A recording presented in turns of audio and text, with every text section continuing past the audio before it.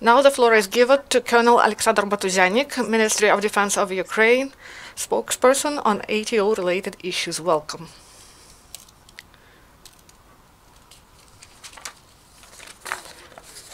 Good afternoon, dear colleagues.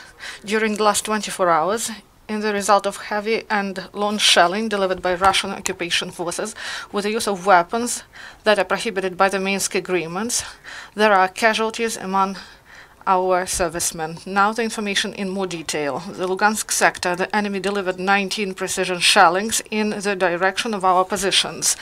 For about two hours, Russian occupation forces used mortars of 120 millimeter of caliber, the defenders of uh, Travneva, launching 16 mines. And also there were repeated precision shellings of our positions with the use of uh, weaponry of IFVs, uh, grenade launchers and infantry weapons. Um, enemy mines of 82 millimeter of caliber disturbed our servicemen on their positions near Krymske, Lugansk, Katerinivka and Glova Alexandrovka. And uh, uh, also um, in the this settlement in Lovacheva, Zaitseva and Zolote, there were repeated precision shellings delivered by the enemy with the use of uh, large caliber um, machine guns, grenade launchers, and small arms.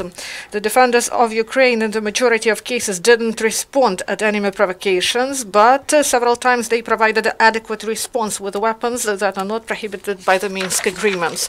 In the Donetsk sector, during the last 24 hours, nine precision shellings uh, were recorded um, that were delivered by Russian occupation forces, and um, also near Avdiivka, uh, the occupants for two hours launched 12 mines of 120 millimeter of caliber and also delivered disturbing fire with use of grenade launchers of different systems and small arms.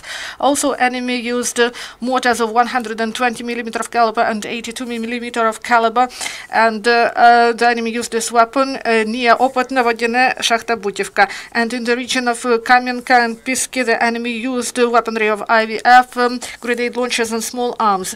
Also, near Kamenka, the enemy, enemy sniper was active, and uh, in the prevailing majority, uh, the Ukrainian forces provided tough response with the use of grenade launchers and small arms.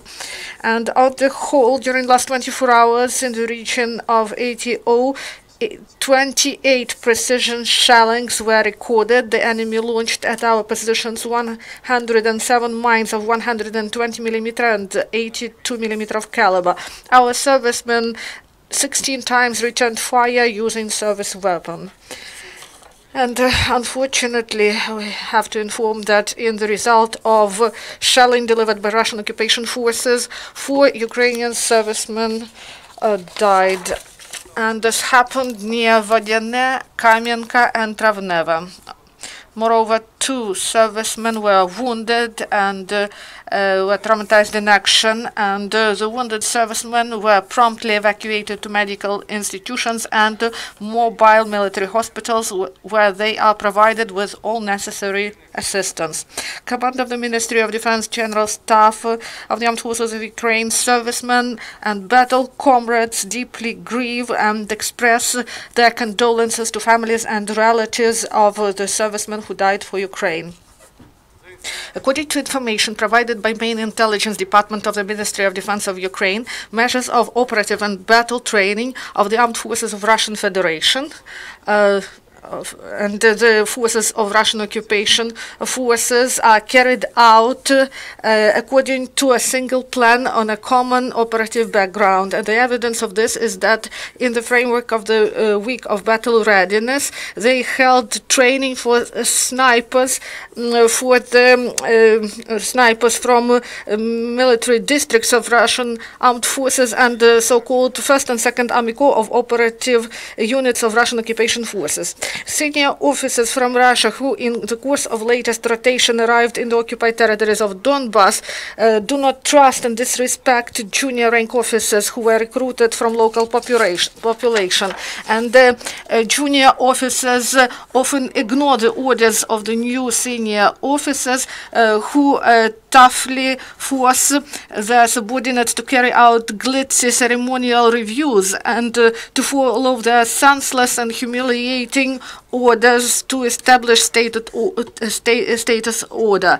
And the latest rotation in the First and Second Army Corps significantly influenced on decrease of moral and psychological state of the military personnel of Russian occupation forces in the territory of Donbass. Officers of the Group of Civil and Military Cooperation of the Armed Forces of Ukraine delivered to detachments at the front line material and technical means.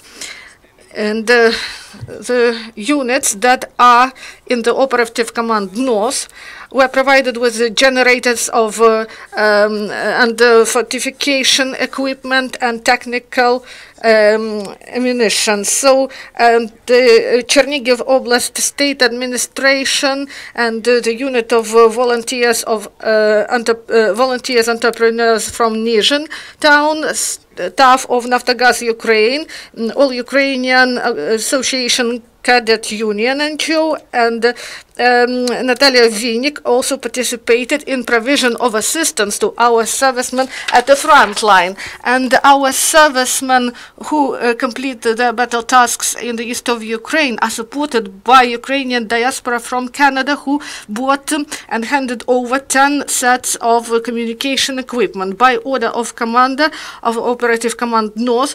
Um, they provided uh, the orders, the awards for the um, best servicemen uh, to mark the Day of Armed Forces of Ukraine. Officers of Group of Civil and Military Cooperation uh, Marinka, supported by Field Post Office, handed over um, the books to a library of school number four in Krasnogorivka. Um, all uh, were collected by the users of Central uh, City Library and Kremenchuk and representatives of um, Field Post Office. And also they provided a manual for teachers that is called uh, Civil Responsibility. Uh, this uh, will be used in the uh, preparation for lessons and this manual was provided by Wergeland European Center. Thank you for your attention.